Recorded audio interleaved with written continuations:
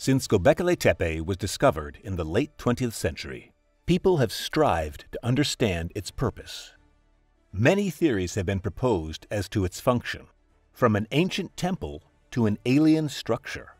But maybe its purpose is not as difficult to comprehend as many think. The construction of Göbekli Tepe raises many questions. We have a 14,000 year old structure that is considered the oldest archaeological monument ever discovered, indicating an advanced civilization.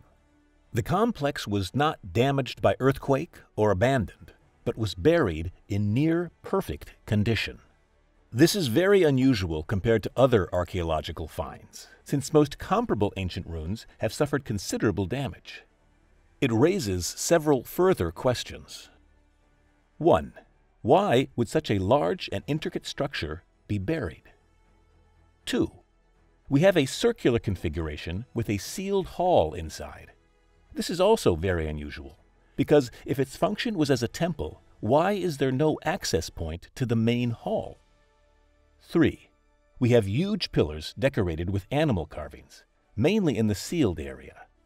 Why would a temple be built with carvings of diverse animals, many of which were not even local to the area, but were indigenous to distant lands? 4. Why do multiple layers surround it? Why isn't there only one exterior wall? 5. Why are there multiple storage areas outside of the main structure, with animal carvings above their entrances? 6. Why is it built on a hill and not at a lower elevation, which would make it much easier to transport materials and animals. The answers to these and many other questions may be very simple.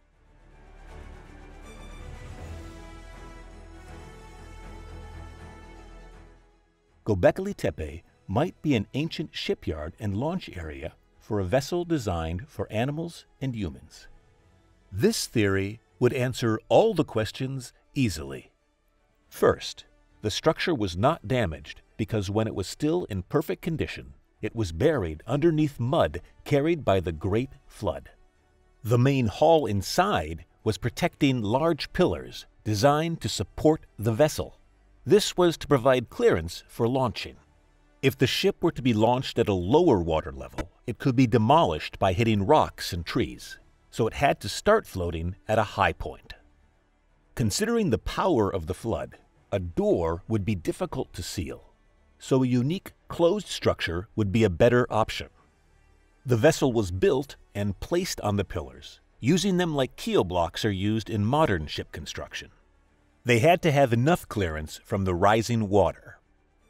The animals were loaded via wooden ramps and ladders that would float and detach from the boat after loading. We do not have proof that people could read and write in those days. Even if they could, carvings would be a more universal language for people during a flood, and they would know exactly where to load which animals. The images on the pillars showing multiple layers of animals might be showing the layers inside the ship. Since wild animals would have to be separated from each other, they had to be stabled in different locations inside the ship. The caves with animal carvings outside of the structure were holding pens where animals were contained before the flood. It was built on a high hill to protect from rising water levels. When we look at ancient civilization and the Earth's structure, we see evidence of a great flood that matches the time that Göbekli Tepe was built. So the flood was predicted long before it happened. People prepared for it. They stored the animals in caves and built the vessel on the pillars, using them as keel blocks. When the rain began and the water levels started to rise, they herded all the animals inside the structure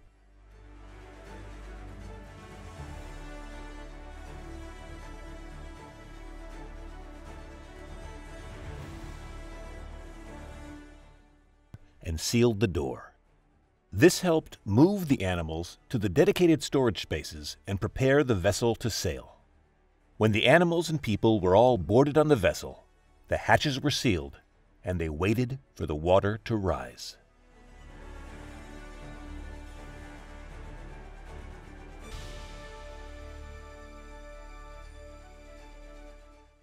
When the inner circle filled, the vessel had enough clearance to sail and thus avoided the possible damage by rocks and trees.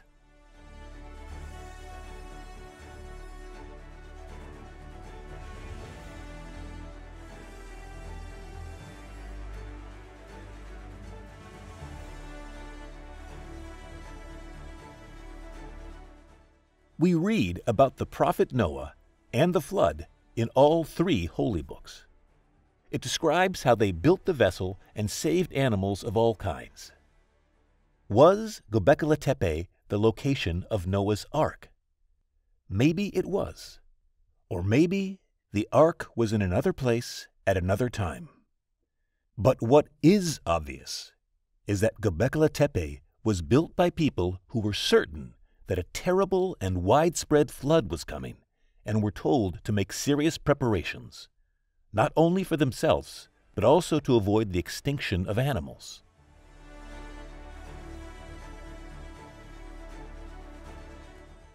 God knows the best.